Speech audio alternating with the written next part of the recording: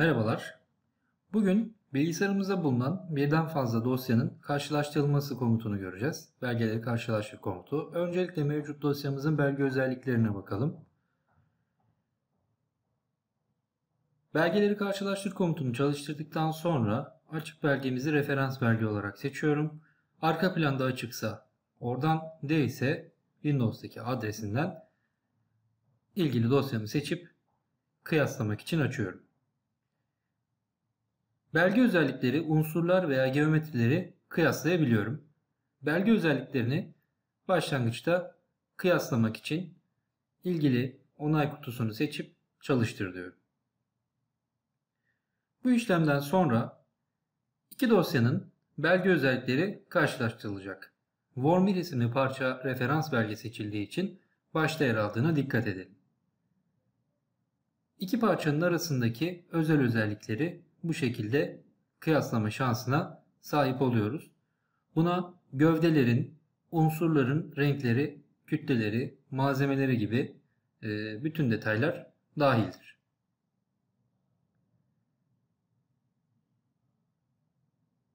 Geri dönelim. Bu kez belge özelliklerini değil de unsurları seçip çalıştıralım. Arka planda iki belgenin de eş zamanlı olarak yeniden oluşturulduğunu görmekteyiz. Evet. Kıyaslama işlemimizin sonucunda unsurları bu şekilde seçtiğimizde eğer ortak unsurlarsa görebiliyoruz.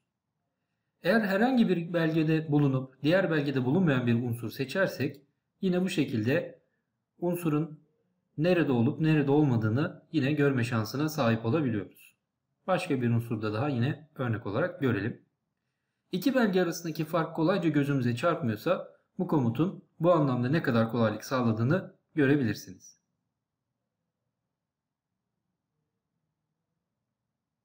Geri dönelim ve bu kez geometrileri kıyaslayalım. Geometrileri kıyaslayabilmek için parçalarımızı hizalamamız daha kolay olacaktır. Parçalarımızı global koordinat sistemine göre veya varsa özel atanmış koordinat sistemine göre hizalayabiliyoruz. Program şu anda bizim için bir eşleştirme yapıp hangi parçada fazlalık, hangi parçada eksik bir bölge olup olmadığını bizlere gösterecek. Eşleme işlemi bittikten sonra karşımıza karşılaştırma penceresi altında şekildeki gibi bir pencere çıkacak. Biraz daha ekranımızı genişleterek şu anda ortak hacmi görmektesiniz. Eklenecek malzeme dersek eğer herhangi bir belgeye ne kadarlık bir malzeme eklediğimizde aşağıdaki belgeyi elde edebileceğimizi görüyoruz. Kahverengi ile gördüğümüz bölgeler diğer tarafa ekleme yapılarak aynı belge elde edilebilecek demektir. Eklenecek malzemeyi kaldıralım. Çıkarılacak malzemeye de bakabiliriz. Bu da biraz önceki işlemin tam tersi aslında. Mavi renkli bölgeleri çıkartırsak herhangi bir belgede diğer belgedeki gövdenin aynısını elde etmiş oluruz demektir.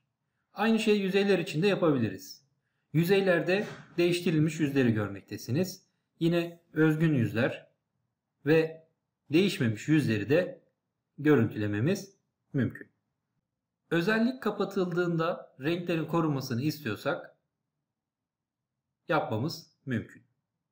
Bu videoda farklı belgeleri kıyaslamayı ve çabukça aralarındaki farkları gözlemlemeyi görmüş olduk.